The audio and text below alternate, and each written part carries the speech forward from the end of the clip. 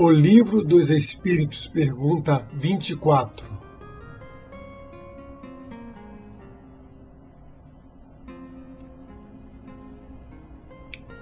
É o espírito sinônimo de inteligência? A inteligência é um atributo essencial do espírito. Uma e outro, porém, se confundem no princípio comum, de sorte que, para vós, são a mesma coisa.